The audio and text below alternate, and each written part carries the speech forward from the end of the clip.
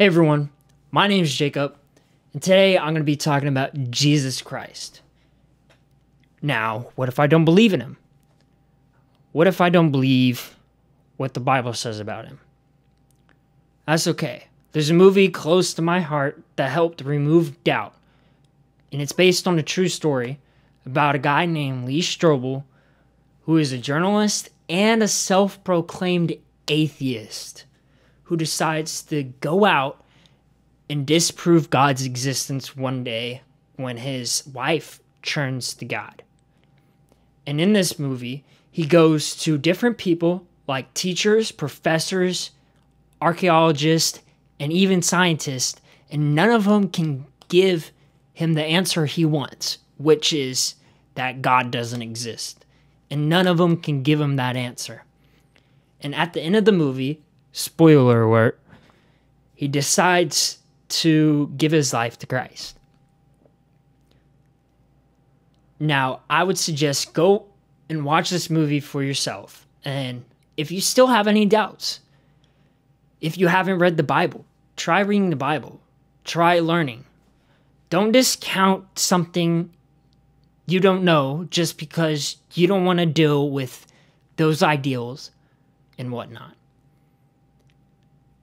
If you really want to search for the answers you're looking for, you got to research it. And that's what I would ask of you to do. And Jesus is a nice guy. He's a father, he's a friend. He helps me when I'm down, he helps me when I'm up. He helps me when I'm struggling with temptations. He's always there for me. He's always there for you. Now, all you got to do is take the first step. Ask the question How do I know God is real? How do I believe in something that I can't see?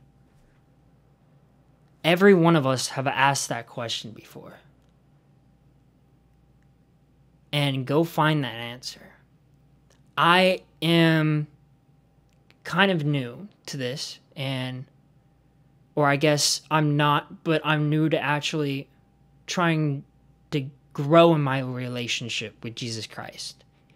And I hope you can one day have a relationship with him and grow with him and all the people around with you. So, I leave you with this.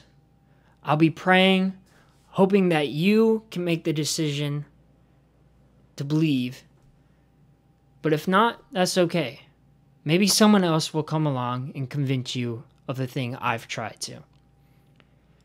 So, at the end of this video, hope you have a good day, hope you have a good week, hope you have a good life. And may you always know Jesus is with you. Deuces, y'all.